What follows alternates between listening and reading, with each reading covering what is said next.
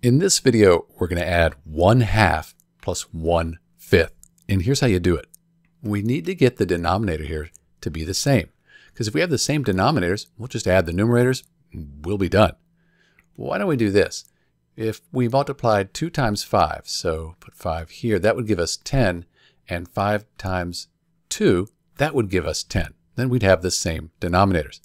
But we can't just multiply the denominator by a number. We need to multiply the numerator by that number as well.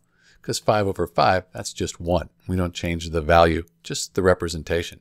And over here, by 2. So 5 times 1 is 5. 5 times 2 is 10. You get 5 tenths. That's the same as 1 half. Plus, 1 times 2 is 2.